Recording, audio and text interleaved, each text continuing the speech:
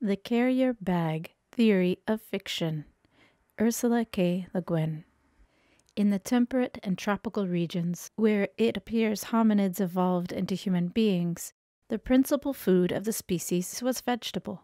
65 to 80 percent of what human beings ate in those regions in Paleolithic, Neolithic, and prehistoric times was gathered only in the extreme Arctic was meat the staple food. The mammoth hunters spectacularly occupy the cave wall and the mind.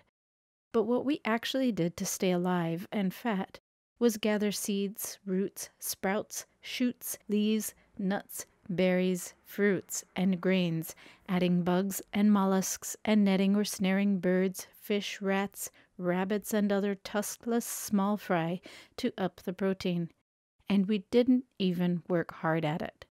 Much less hard than peasants slaving in somebody else's field after agriculture was invented, much less hard than paid workers since civilization was invented. The average prehistoric person could make a nice living in about a 15 hour work week. 15 hours a week for subsistence leaves a lot of time for other things. So much time that maybe the restless ones who didn't have a baby around to enliven their life, or skill in making, or cooking, or singing, or very interesting thoughts to think, decided to slope off and hunt mammoths. The skillful hunters would come staggering back with a load of meat, a lot of ivory, and a story.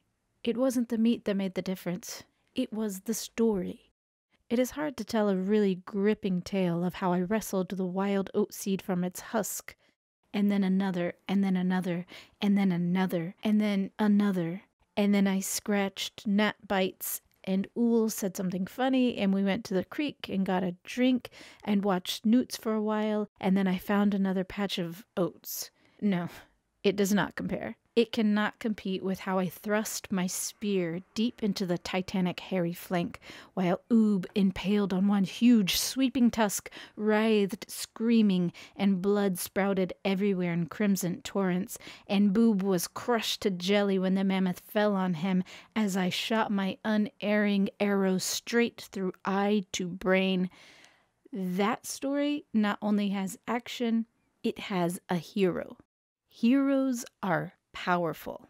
Before you know it, the men and women in the wild oat patch and their kids and the skills of makers and the thoughts of the thoughtful and the songs of the singers are all part of it, have all been pressed into service in the tale of the hero. But it isn't their story, it's his. When she was planning the book that ended up as Three Guineas, Virginia Woolf wrote a heading in her notebook Glossary. She had thought of reinventing English according to her new plan in order to tell a different story. One of the entries in this glossary is heroism, defined as botulism, and hero in Woolf's dictionary is bottle. The hero as bottle, a stringent reevaluation. I now propose the bottle as hero. Not just the bottle of gin or wine, but bottle in its older sense of container in general, a thing that holds something else. If you haven't got something to put it in, food will escape you, even something as uncombative and unresourceful as an oat. You put as many as you can into your mouth while they're handy, that being the primary container. But what about tomorrow morning when you wake up and it's cold and raining, and wouldn't it be good to have just a few handfuls of oats to chew on and give little Oom to make her shut up? But how do you get more than one stomach full and one handful home? So you get up and you go to the damned soggy oat patch in the rain, and wouldn't it be a good thing if you had something to put baby Oo Oo in so that you could pick the oats with both hands? A leaf, a gourd shell, a net, a bag, a sling, a sack, a bottle, a box, a container, a holder, a recipient. The first cultural device was probably a recipient. Many theorizers feel that the earliest cultural inventions must have been a container to hold gathered products and some kind of sling or net carrier. So says Elizabeth Fisher in Women's Creation. But no, this cannot be. Where is that wonderful big, long, hard thing, a bone, I believe, that the ape man first bashed somebody in the movie and then grunting with ecstasy at having achieved the first proper murder, flung up into the sky, and whirling there it became a spaceship thrusting its way into the cosmos to fertilize it and produce at the end of the movie a lovely fetus, a boy, of course, drifting around the Milky Way without, oddly enough, any womb, any matrix at all. I don't know. I don't even care.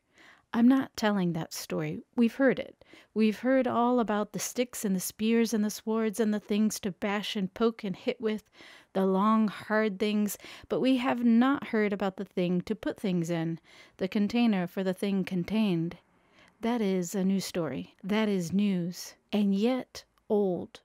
Before, once you think about it, surely long before, the weapon a late, luxurious, superfluous tool, long before the useful knife and axe, right along with the indispensable whacker, grinder, and digger. For what's the use of digging up a lot of potatoes if you have nothing to lug the ones you can't eat home in? With or before the tool that forces energy outward, we made the tool that brings energy home. It makes sense to me. I'm an adherent of what Fisher calls the carrier bag theory, of human evolution. This theory not only explains large areas of theoretical obscurity and avoids large areas of theoretical nonsense, inhabited largely by tigers, foxes, and other highly territorial mammals, it also grounds me, personally, in human culture in a way I never felt grounded before. So long as culture was explained as originating from and elaborating upon the use of long, hard objects for sticking, bashing, and killing, I never thought I had or wanted any particular share in it. What Freud mistook for her lack of civilization is a woman's lack of loyalty to civilization, Lillian Smith observed. The society, the civilization they were talking about, these theoreticians, was evidently theirs. They owned it, they liked it, they were human, fully human, bashing, sticking, thrusting, killing. Wanting to be human too, I sought for evidence that I was. But if that's what it took to make a weapon and kill with it, then evidently I was either extremely defective as a human being or not a human at all. That's right, they said. What you are is a woman, possibly not human at all, certainly defective. Now be quiet while we go on telling the story of the ascent of man the hero. Go on, say I, wandering off towards the wild oats, with Oo Oo in the sling and little Oom carrying the basket.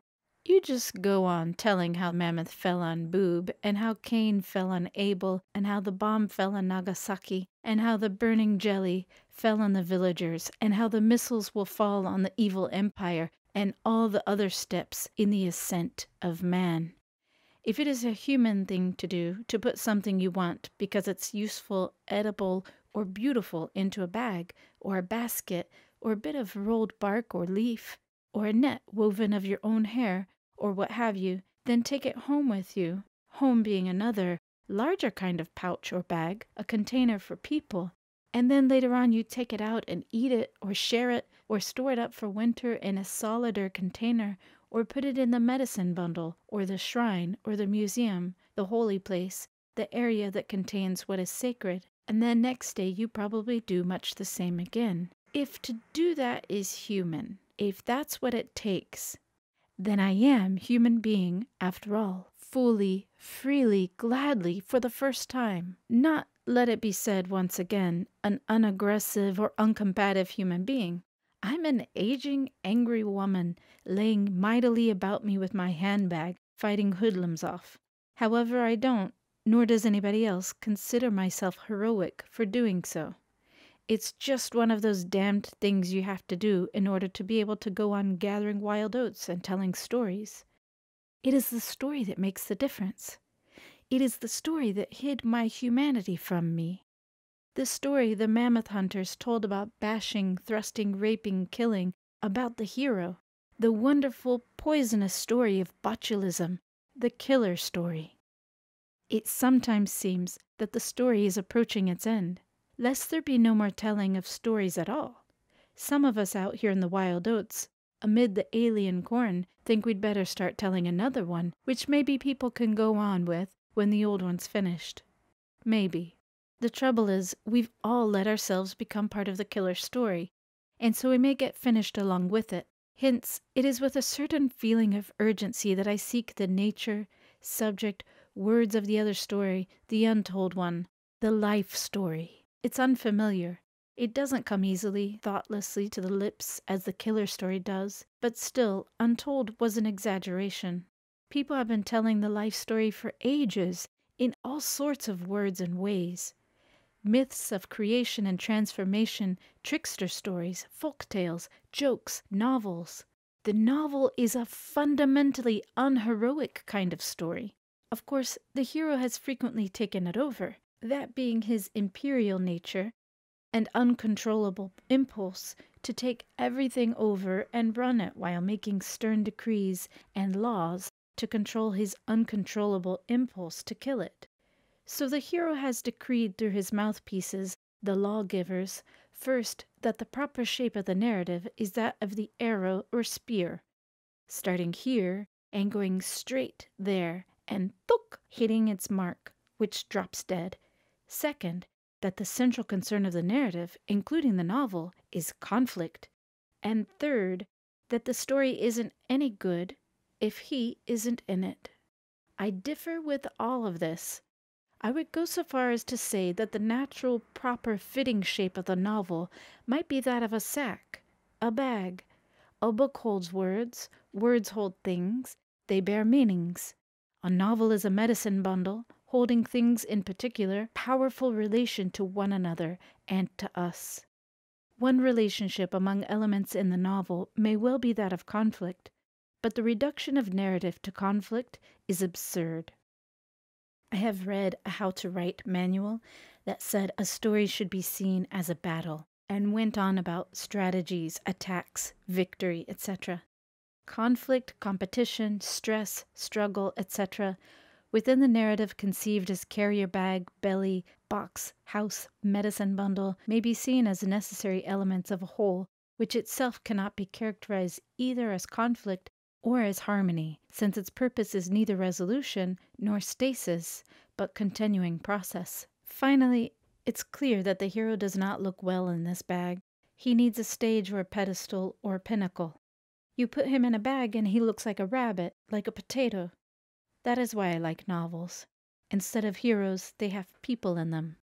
So when I came to write science fiction novels, I came lugging this great heavy sack of stuff my carrier bag full of wimps and klutzes and tiny grains of things smaller than a mustard seed, and intricately woven nets, which then laboriously unknotted are seen to contain one blue pebble, an imperturbably functioning chronometer telling the time on another world, and a mouse's skull, full of beginnings without ends, of initiations, of losses, of transformations and translations, and far more tricks than conflicts far fewer triumphs than snares and delusions, full of spaceships that get stuck, missions that fail, and people who don't understand. I said it was hard to make a gripping tale of how we wrested the wild oats from their husks. I didn't say it was impossible.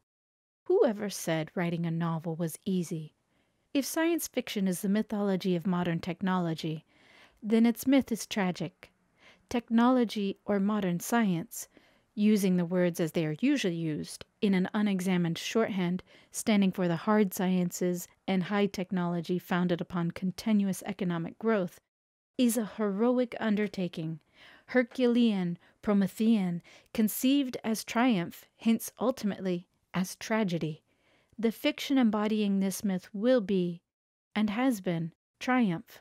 Man conquers earth, space, aliens, death, the future, etc., and tragic, apocalypse, holocaust, then or now.